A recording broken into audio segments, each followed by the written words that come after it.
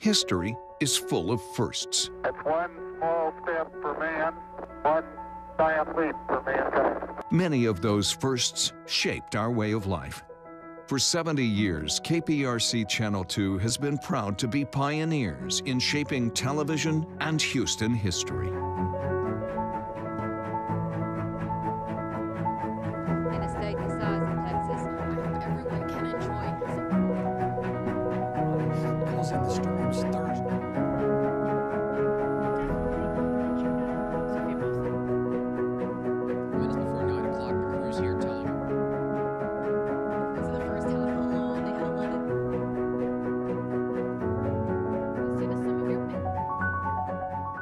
Good to work for a place that has a sense of history? And indeed it is. See, taking the president from Spring to College Station, fellas.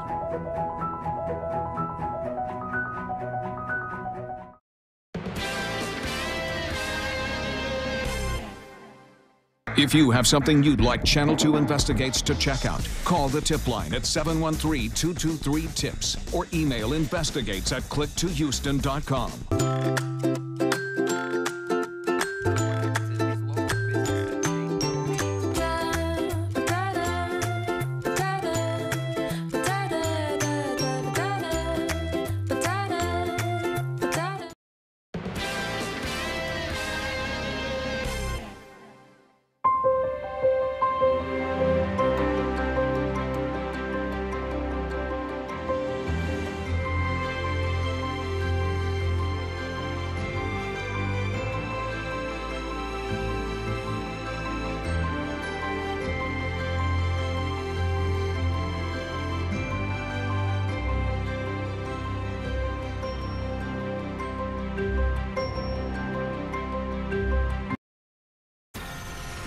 from KPRC, this is Channel 2 News Midday. Right now at midday, a family is speaking out. The family of a man who was killed by a security guard at a sports bar are now meeting with an attorney. What he's telling us about the next steps in this case. Decision day in New Hampshire. Voters head to the polls for the nation's first Democratic presidential primary. A look at who is coming out ahead as early results come in. Here's a live look outside at the Southwest Freeway. Nasty, gross. Those are just a few of the words being used to describe what it looks like outside right now. How long this wet, cold weather is going to stick around. We will get to those stories in just a few moments, but first, we start with that breaking news. Major developments in a crash involving a 14-year-old driver and several other children in a stolen pickup. We now know where those kids allegedly grabbed the vehicle from. Police say the owner, Matthew Gill, left a truck running when he went into a restaurant right on Westheimer the day before that crash. Now, an off-duty officer says the children in that car tried to pull them over. When he did, they began to lead him on a high-speed chase that ended with three-vehicle crash on Siegler and Briar Rose Drive. Now, one of the cars was an 80 one of the people in the car was an 89-year-old woman who is now in critical condition. Four juveniles were in the vehicle at the time of that accident, but only two of them have been charged. The juvenile driver is now facing several charges, including endangering a child.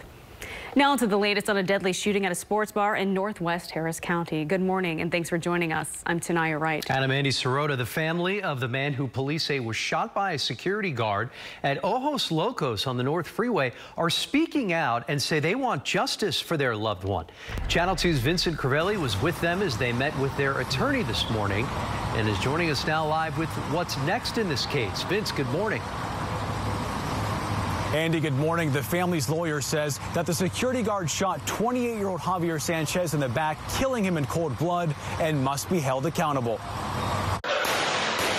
Gunfire shatters the peace at Ojos Locos on North Freeway early Sunday morning. The trigger man, a security guard who killed 28-year-old father Javier Sanchez. The security guard, he, he looks like he's, he's, he's shooting somebody like in a gangster movie or something. And uh, the type of conduct that he exhibited needs to be held accountable. Attorney Richard Persatti is representing the Sanchez family. He was a loving, caring family man, very involved in family activities. Persudi says it was closing time and the security guard was yelling at customers to get out, then pulled a stool from underneath the customer. There was a confrontation, and Sanchez, out with family and friends, tried to defuse the situation, according to Persudi. His family is devastated. Uh, his family is, is, I met with him yesterday and today. Uh, this has been the worst thing that could ever, ever happen to anybody. A, a, a father, a son, a brother, cousins have been taken away. Persudi says he plans to sue the security guard, the security guard's company, and Ojos Locos. Uh, we're going to gather information, and when I feel that we have the necessary information that I that I want, we're going to file a lawsuit, and, and we're going to move this thing forward. These, this family is going to get justice, and I'm going to get it for them. And the grand jury will look over this case and decide if charges need to be filed. The big question here was the shooting and self-defense. Reporting live in North Houston, Vincent Crivelli, KPRC, Channel 2 News. Vince, thank you. It is primary day in New Hampshire, and the first votes have already been cast. As is tradition, voting kicks off just after midnight in a few small towns near the Canadian border. Alice Barr is in Manchester this morning. She is joining us with the very latest from the campaign trail, including a visit from President Trump. Open in New Hampshire in a wide open race. Hey. Candidates getting in some final face time as voters have their say in the first in the nation primary. The first votes are already tallied in a long held tradition, three tiny towns making their choice just after midnight. Here in Dixville Notch, a surprise. Michael Bloomberg, the write in winner, taking three of the five votes cast. He won't even be on the ballot until Super Tuesday. Amy Klobuchar picked up the most votes from all three towns combined. She's been surging after a strong debate and is counting on a good finish here. If the early votes, the midnight polls, are any uh, indication, we're going to have a pretty good night tonight. Bernie Sanders is the leader in New Hampshire, and today a new Quinnipiac University poll has him passing Joe Biden for the first time nationally. We are in this together. Every family in America has its problems, and we have got to stand together. With Sanders leading from the left, the rest of the field is trying to position themselves as a more centrist alternative. They know my heart, they know my head. We've been at this more than a year now, uh, mm. spreading our message about how we can put together uh, a campaign based on belonging, the campaign that I believe will ultimately go on and defeat Donald Trump. All trying to prove they have the best shot to beat President Trump, who held a huge rally in Manchester last night, reminding Democrats of the true fight ahead. There is even more emphasis on New Hampshire after the contested results out of Iowa. All the candidates want a clean win here to ride that momentum, adding to the pressure. No candidate has ever gone on to be the party's nominee without finishing in the top two here. In Manchester, New Hampshire, Alice Barr, NBC News. Ooh, thank you, Alice. It is a gloomy, chilly day out there. Yeah, one of those days where you probably just want to keep the covers over your head, right, right? Britta? You just want to snuggle, put on a good movie, have a sweatshirt on, some hot cocoa. All those are good vibe things, right? Yes. I mean, it's just kind of nasty out there. If you are going to be out and about, grab your umbrella, grab a jacket. Those will be your best friends today. Uh, the good news is our rainfall is very light. We're not tracking downpours, thunder, and lightning. These are pesky rain showers. but the drizzle and mist, it's extremely inconvenient, and our roads are going to be a little slick out there. Uh, let's take you right into the Beltway and the Loop. You can see some scattered showers, especially along the 59 corridor and moving across 90. Just be careful if you're coming in. Give yourself that extra drive time just because you need to make sure that you're driving appropriately. Uh, we have temperatures still in the 40s off to the north and west. We really have not warmed up considerably from this morning, which is what we expected. We've only tacked on about three degrees, and we're still in the 50s here in town. We could get close to 60 degrees, but keep in mind the majority of your day is going to feel like what it feels like right now. It's going to feel cool and breezy. Our winds coming in uh, from the north about 10 to 15 miles per hour, and that's going to continue to just keep us on the cool side. So again, 50s during the majority of the day, maybe up to 60 degrees. And we do have a 30 to 40% chance of rainfall for the entire day, but the rain that falls down will be very light. Andy, that's going to change tomorrow. We have a cold front on the way. It's going to bring in some thunderstorms, but a nice payoff for the end of the work week. Details on that straight ahead. All right, Britta, sounds good. Thanks so much. Remember, you can track the showers anytime you want. All you have to do is download Frank's free forecast weather app. Just search KPRC in your Apple or Android app store. Police have now identified the man who was shot and killed at a McDonald's in North Houston. The gunman, however, still on the run at this hour. We are told 27-year-old Christopher Howard stopped at that restaurant last night on Airline in West Tidwell so that his girlfriend could use the bathroom. Police say Howard was shot multiple times as he was getting out of his vehicle. He was taken to an area hospital where he later died. Investigators believe Howard and the gunman knew each other. Investigators are looking for the burglar who left a truck running inside a CVS overnight. That person crashed a truck into the store on Greenlock Forest Drive in northwest Harris County. They tried to steal an ATM, but they were unsuccessful. Police ran the plates on the truck and found out it was stolen from Tomball. They are now reviewing security cameras. Now to the very latest on the coronavirus crisis. Passengers quarantined on the Diamond Princess cruise ship in Japan, well, they may have to stay longer than they originally thought. 135 of the 3,700 people on board have the deadly coronavirus. That includes 25 Americans. Seven days into the quarantine, scientists question if these new cases appeared before or after that quarantine period. Some patients still show symptoms after 14 days. So uh, yesterday they gave us a higher quality of mask. This is what we see the crew wearing when they bring us our meals. We're taking our temperature three times a day and reporting it. Passengers may have to stay on board after February 19th. The death toll for the coronavirus has now surpassed 1,000. Closer to home now, we're going to hear from Harris County Judge Lina Hidalgo later today. She's going to lay out her plan on how the county is trying to control rumors about the deadly virus and how it will be used as a source for more reliable information. Police need your help finding a 21-year-old man with autism. They don't believe Kalen Wright is in danger, but he has a cognitive learning disability. Someone told police they saw him walking around HCC's campus. That person says they waved at him and he waved back. Prior to that, Wright was last seen crossing Westheimer and Kirkwood. Call police if you've seen him. Houston is remembering the life of a woman who gave her life to service for nearly seven decades. This morning, we're going to honor Anna Russell. She was a former city secretary. Mayor Turner joined her family and friends for a celebration of life. Russell was 88 years old and worked with nine different mayors. She always said she worked for the citizens of Houston. When asked who her favorite mayor is, she replied, all of them. This great lady, Anna, was an incredible civil servant. Her dedication, her steadfast integrity always will be admired. In lieu of flowers, the family is requesting donations to be made to the renovation of Hermann Square at City Hall. A longtime police official in Vermont suddenly resigns. Coming up, what she's accused of doing that has her out of a job today. And next, a bombshell dropped in a college admissions scandal. What investigators have uncovered, that is a definite black eye for actress Lori Loughlin and her husband. You're watching Channel 2, Houston's home for news. New evidence in the college cheating case against actress Lori Loughlin. NBC's Sam Brock has the resume that prosecutors say was padded to help get her daughter into school. Hi, everybody. It's Olivia. Jade. As recently as five days ago, Olivia Jade, whose famous parents are caught in the center of a sweeping college admission scandal, posted these pictures to Instagram of life returning to normal. But now, the former USC student is staring at a new layer of a deepening scandal. Prosecutors releasing this college resume in a court filing that appears to be Olivia Jade's, though the name is redacted. The bullet points apparently portraying a litany of lies for a student authorities say never participated in crew. Two gold medals at the San Diego Crew Classic, a fourth place finish at the head of the Lagoon Foster City, and other competitions.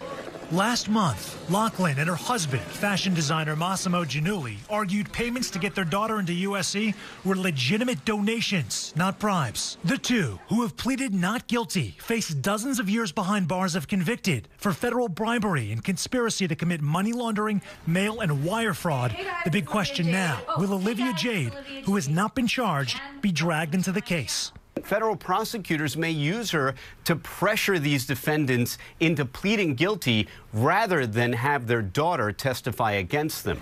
The latest chapter in an ongoing saga. Sam Brock, NBC News. A longtime police official in Vermont resigned after admitting that she was behind a pair of fake social media accounts. Burlington Deputy Police Chief Jan Wright will officially leave her position on February 21st. She was with the department for nearly 20 years. Under one of those false accounts, Wright blasted two city councilors as being inappropriate and careless. This is all regarding a case of a police officer accused of murder. Wright has apologized for her actions, saying that she was deeply embarrassed by her behavior. A family in Washington state is now suing Child Protective Services, saying that the state should have known that two boys were in danger before they were killed by their own father. Back in 2012, Charles and Judy Cox were taking care of their grandchildren, Braden and Charlie. Now, they were in the middle of a custody battle with the boy's father, Josh Powell. During what was supposed to be a supervised visit, Powell attacked and killed his sons. Then he set his home on fire, killing himself. The boy's grandfather says that he called to warn Child Protective Services two days before the murders. Harvey Weinstein's defense has rested its case today after calling seven witnesses. This comes after yesterday's shocking testimonies in the sexual assault trial.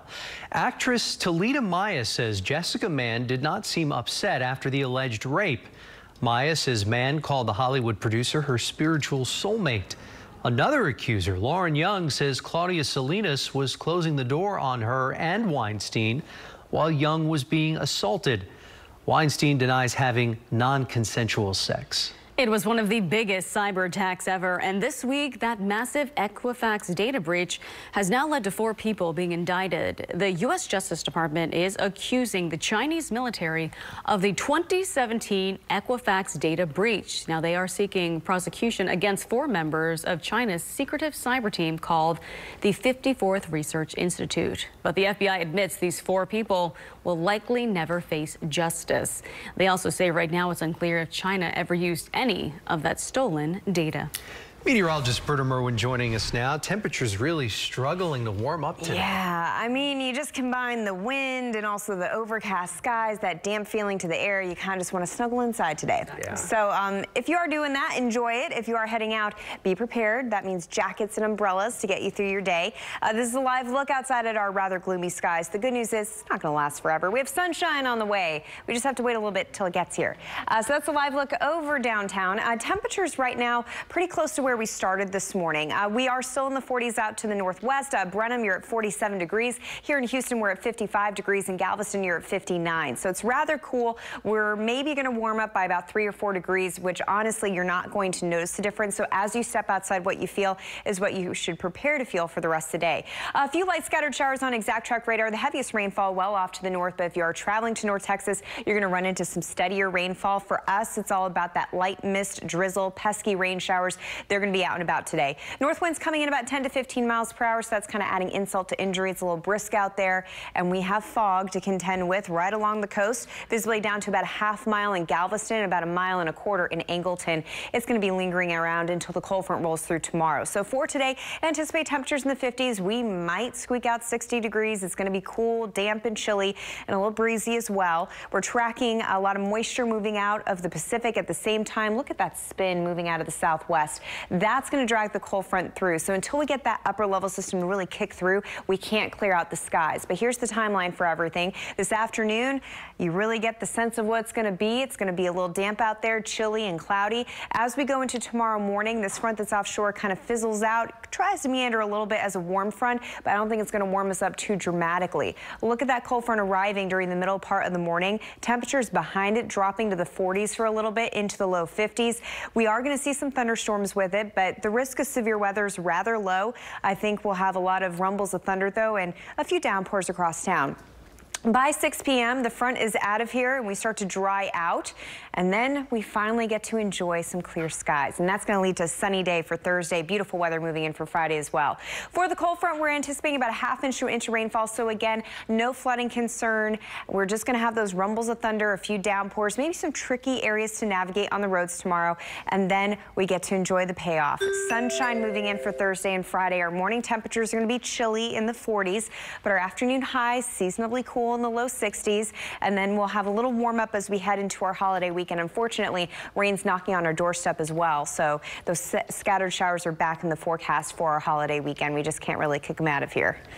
Yeah. No. I was like, we can't. It's going to be warmer, though. I mean, we're looking at 70s as we head into President's Day next week. The silver lining. Exactly. There's always something. Yeah, there's always something. Thanks so Mhm. much. Yes, thank you. Well, a Texas family is now dealing with a rather annoying situation. They have called in a specialist to clean up fiberglass shards from their daughter's bedroom. Coming up, how they ended up there and what they did that may have led to that problem. I'm consumer expert Amy Davis. Stop walking around in the dark. We're testing out the Night Angel, a custom light that promises to never burn out. How it works and how much it'll cost you coming up. North Carolina. Sometimes you just need a little light to illuminate a dark space or a walkway. You don't want to have to switch it on and off, and you don't want a bulky light that you have to unplug when you need the electric outlet. That's right. This morning, consumer expert Amy Davis is testing a product that checks all of those boxes. The Night Angel. The Night Angel uses LED lights. They're pretty bright, and the manufacturer says they are guaranteed to last a lifetime. Belinda Folan keeps her kitchen nice and tidy, and even though there's not a lot of clutter, she worries about getting up in the middle of the night and walking without much light. The hallways, the kitchen, and uh, leading into the kitchen, sometimes even the bathroom. Several of the outlets need lighting at night so we can maneuver without having a full light. And night lights, well, the Night Angel commercial sums them up about right. But regular night lights are bulky. They tie up your outlets. Plus, you're constantly replacing them. The Night Angel cost $6.18 at Fry's Electronics, and all you need is a screwdriver to install it. It sounds really promising, so we'll see. In about a minute, Belinda unscrewed her old outlet cover and put the Night Angel on. These small prongs plug in to provide power to the Night Angel, leaving your electric outlets free. And as soon as she put it on, it lit up her hallway. If I can do it, anybody can do it. The Night Angel has a built-in light sensor, so the LED lights illuminate when it's dark. Here's Belinda's hallway without the Night Angel, and now the same hallway with the Night Angel. Belinda is sold. It's just for the convenience of not having to plug in, and it looks nice. The only problem, now she wants more. I say thumbs up. On my Facebook page, a lot of you told me you already have several of these Night Angel lights around your home. If you want to buy one, you can find a lot of them that are not this same brand at varying prices. We only tested the Night Angel, but several people have told me they purchased some online that work well too at a lower price point. I'm consumer expert Amy Davis, KPRC, Channel 2 News. A major shakeup in the wireless industry. That's right. A judge has now cleared the way for T-Mobile to take over Sprint. We'll tell you what this means for you coming up. I'm health reporter Haley Hernandez. If you've tried pills, creams, cleansers for cystic acne and can't find relief, I've got details on one pill that's not even supposed to be for acne, but a lot of people swear it clears up their skin. Details are coming up. Live from KPRC, this is Channel 2 News Midday. Andy and Tanaya back with you. Boy, not much in the way of sunshine today. No, Striking out big time. We are definitely striking out. It's chilly. It's gloomy.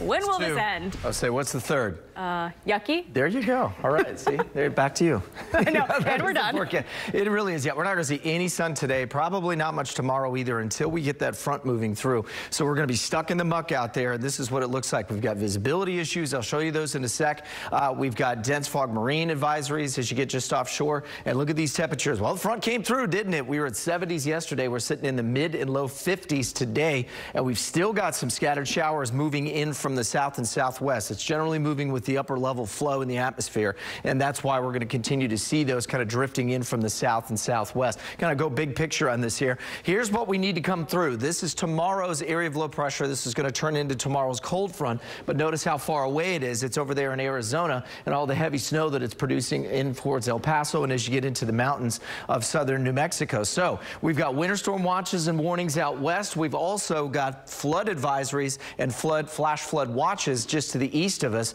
as they're going to be setting up a potential for more heavy rain across the deep south. We're kind of caught in the middle. So it's going to be a cold afternoon. These temperatures that are in the upper 40s to low to mid 50s now will not budge much. We'll see a bit of a bump, but it means that more rain's on the way. I'll track tomorrow's cold front. We'll take it hour by hour in the timing. And when we finally do see a little bit of that sunshine, Andy, coming up in a bit. All right, Justin, thanks so much. Remember, you can track the showers anytime you want. All you have to do is download Frank's free forecast weather app. Just search KPRC in your Apple or Android app store. Here's a look at some of the morning's big stories. Well, it is primary day in New Hampshire. Democratic presidential candidates are trying to round up every supporter they can. The first votes have already been cast, and as is tradition, three small towns near the Canadian border made their choice just after midnight. But today, the New Hampshire election officials say they are confident they will avoid the kind of chaotic tech meltdown that we saw during last week's Iowa caucuses. NBC's Morgan Radford has a look at how the New Hampshire primary election is different than a caucus, relying on more traditional methods to get votes recorded and then get those results out. It's a caucus hangover. After waiting nearly a week for the Iowa caucus results to come in, Pete Buttigieg has a narrow lead in delegates. But chaos continues, with calls for recanvassing from the former mayor and Senator Bernie Sanders. Let's win this thing. Let's transform America. And with Iowa's first in the nation status now in question, primary voters in New Hampshire say their process will be the calm after the storm. So you think New Hampshire is ready? I know New Hampshire's ready. You're not worried? I'm not worried at all about it. New Hampshire kind of has a reputation as doing it right. It's the nation's first primary, more than 100 years old. All but three presidents in the last 70 years have won a primary among these voters. I have admired how seriously you take the responsibility. We are going to, as usual, New Hampshire, surprise the country. And after the caucus confusion in Iowa, election officials here say this is a process that can be trusted. Everything here is done by hand. You get an official ballot and you mark your vote by hand on paper. When you walk inside the booth, no apps, no electronics. Then you take your ballot to be counted. So every single ballot is then counted in this box. Correct. Is it connected to the internet? No, it's not. So this isn't connected, nothing in this room? No, nothing is uh, connected to the internet. Eh, so. so everything is just by pen, paper, that's it? That's it. New Hampshire Secretary of State, who oversees the election, says simple is safer. And you can't hack a pencil. Which is why voters here in the Granite State say they're confident in the process, even if many are unsure about the candidates. If Iowa had come out with a clear winner, I would feel more compelled to lean that way. A lot of people are undecided. So people are kind of everywhere. They are all over the place. Morgan Radford, NBC News, Nashua, New Hampshire. The family of the man shot and killed by a security guard is meeting with an attorney today. That shooting happened at the Ojos Locos Club right along the North Freeway in northwest Harris County. Cell phone video shows the security guard firing his weapon. A second victim was shot in the arm. Witnesses say the security guard was involved in some sort of altercation with a group of people there. A former Galena Park ISD bus attendant accused of assault is in court right now. Sergio Lopez is charged with misdemeanor assault, accused of touching a 13-year-old disabled girl. Investigators say bus surveillance video shows Lopez trying to rub the girl's leg on three occasions. They also say he tried to kiss her twice in January. Lopez was fired last month. Channel 2's Taisha Walker is in the courtroom and will bring us the new developments. Now to the coronavirus crisis. A British businessman who is believed to have infected several people has now been identified. His name is Steve Walsh, and he has recovered from the coronavirus. Walsh had traveled to a sales conference in Singapore. A mudslide in Monroe, Washington is impacting people who live near the area. Right now, 44 homes are being affected by the road covered in mud. The mudslide is so bad, an engineer told residents that the road might need to be rebuilt altogether, which could take up to a year. Dirt bikes and ATVs seem to be the only safe way to travel there at this point. A Texas family's simple attempt to clean a child's bedroom turned into an emergency. They had to call a decontamination team because of a mattress cover. That's right. Arizo Dotes spoke with them about a warning that they have for anyone who sleeps on a memory foam mattress.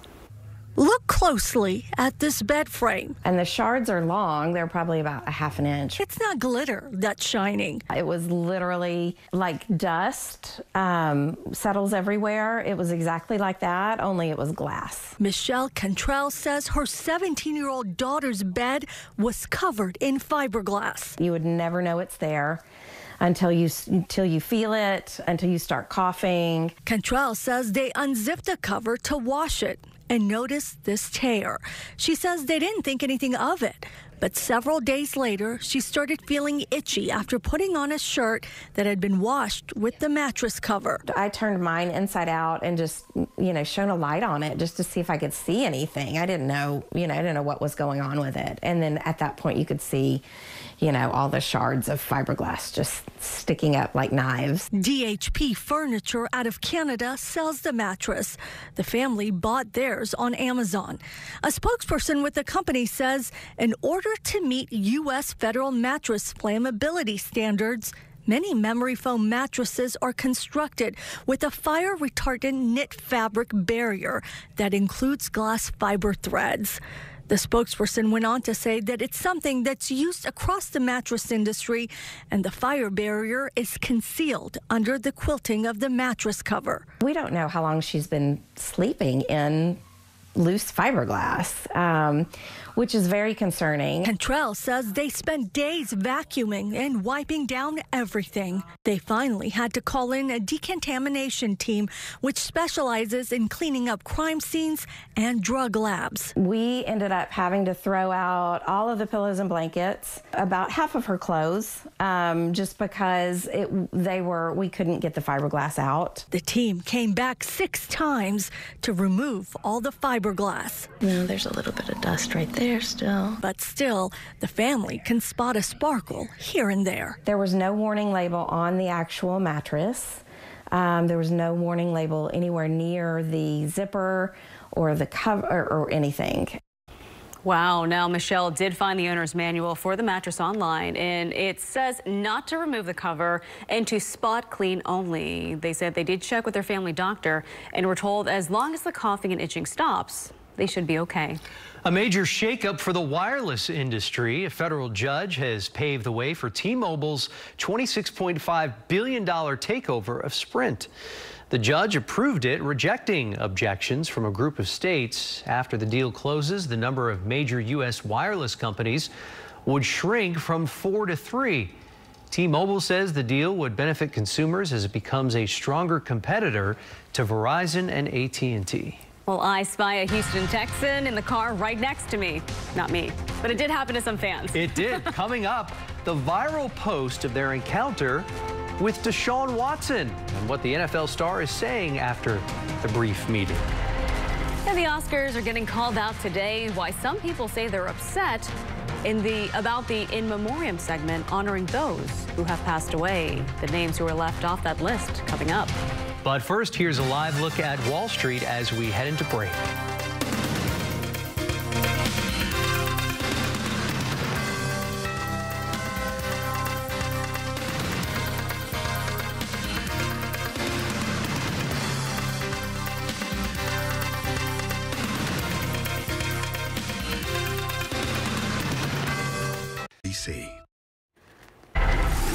Today's entertainment news, following in her father's footsteps, former pro wrestler turned actor Dwayne The Rock Johnson's daughter well, she is now training to become a WWE fighter. Simone Johnson is working out in Orlando. The Rock is the first third generation wrestler at the WWE after his father and grandfather. The Rock said on his Instagram that he is humbled and grateful about his daughter's work. The In Memoriam segment of Sunday's Academy Awards has caused some viewers grief. Some questioned why Luke Perry, Cameron Boyce, Tim Conway, and others were not included in the annual tribute to those in the filmmaking community who have passed. Perry's exclusion was an especially sore spot for some, given that he appeared in the Oscar-nominated film Once Upon a Time in Hollywood. The Beverly Hills 90210 star died last March following a stroke. He was 52. The Academy says it receives hundreds of requests. This is not the first year the Academy Awards has faced questions about this segment. Well, there's some good news for rapper Eminem. A surprise performance at the Oscars has proven to be a really good thing for him. Lose Yourself is seeing a massive sales bump after his performance. The song from the movie 8 Mile won the Academy Award for Best Original Song back in 2003. Eminem was not in attendance to accept that award, but he tweeted after the Oscars saying, thanks for having me at the Academy Awards. Sorry, it took me 18 years to get here. Ford versus Ferrari raced its way to a couple of statues at the Oscars on Sunday night. This week, the high octane Best Picture nominee will be available for purchase. That is right. You can also pick up a copy of the animated fan favorite Frozen 2.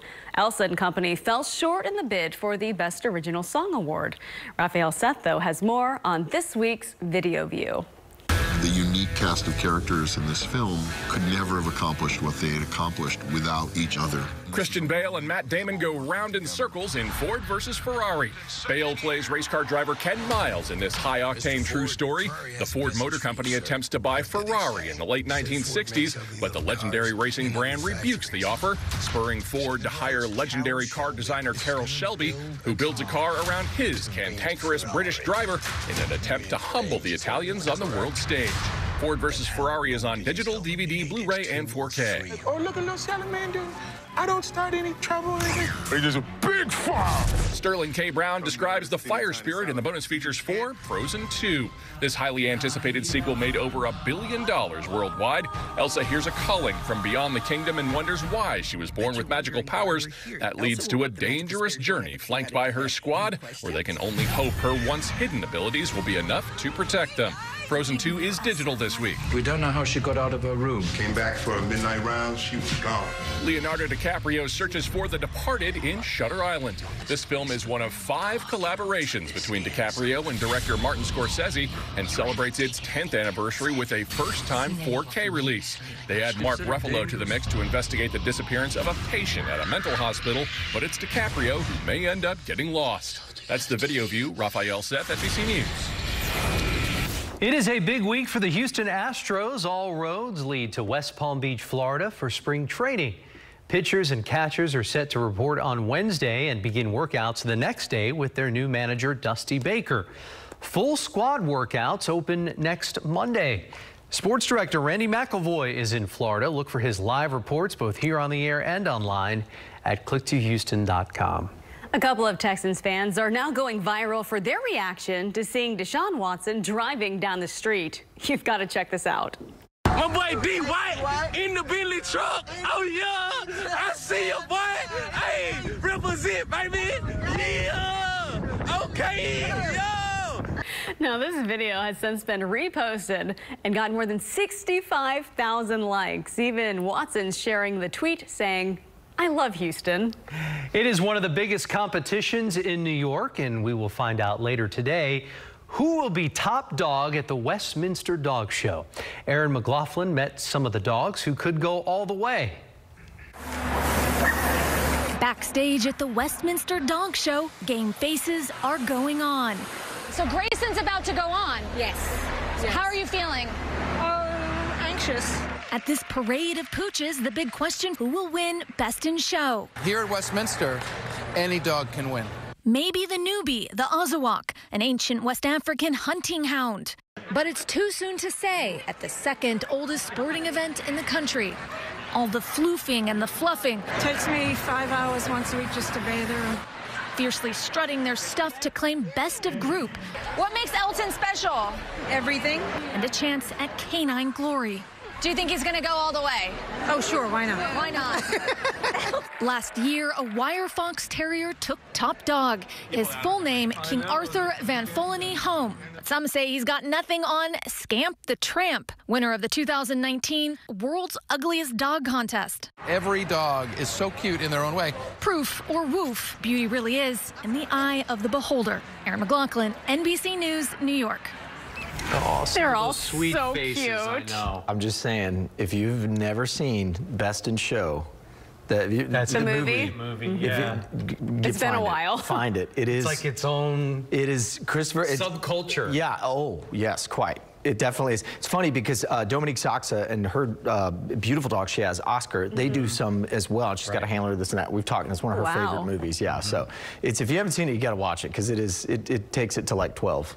Those folks there. So it's really funny. It's a great film. Anyway, uh, yeah. So th- then we got that with the doggies, and of course we're trying to fight our way through the fog this morning so I far. know. I want to show you something really interesting down in Galveston, though. Remember yesterday, we Galveston was just like socked, right? We, if you were watching last night with myself and Frank, you noticed that the fog was so thick that, that you couldn't even see out towards Murdoch's. Well, that was because the wind was coming out of the southeast, and so it was pushing that sea fog on shore, right?